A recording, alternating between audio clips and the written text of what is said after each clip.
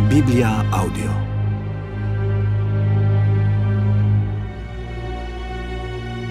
Księga Kocheleta, czyli Eklezjastesa. Marność nad marnościami, powiada Kochelet. Marność nad marnościami. Wszystko jest marnością.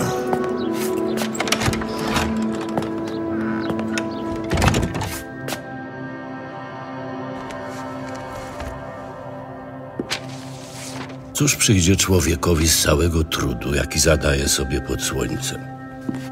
Pokolenie przychodzi, pokolenie odchodzi, a ziemia trwa po wszystkie czasy. Słońce wschodzi i zachodzi, i na miejsce swoje śpieszy z powrotem, i znowu tam wschodzi. Ku południowi ciągnąc i ku północy zawracając kolistą drogą wieje wiatr i znowu wraca na drogę swojego krążenia. Wszystkie rzeki płyną do morza, a morze wcale nie wzbiera. Do miejsca, do którego rzeki płyną, zdążają one bezustannie. Każde mówienie jest wysiłkiem. Nie zdoła człowiek wyrazić wszystkiego słowami.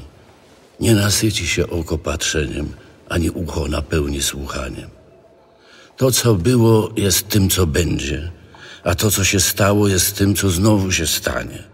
Więc nic zgoła nowego nie ma pod słońcem. Jeśli jest coś, o czym by się rzekło, patrz, to coś nowego, to przecież istniało to już w czasach, które były przed nami. Nie ma pamięci o tych, co żyli dawniej, ani też o tych, co będą kiedyś żyli. Nie pozostanie wspomnienie u tych, co będą potem.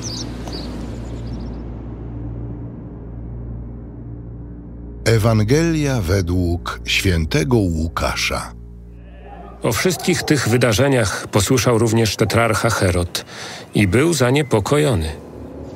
Niektórzy bowiem mówili, że Jan powstał z martwych, inni, że zjawił się Eliasz, jeszcze inni, że któryś z dawnych proroków z martwych wstał.